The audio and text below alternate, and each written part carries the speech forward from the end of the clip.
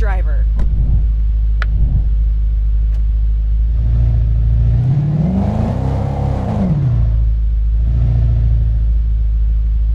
I love your car.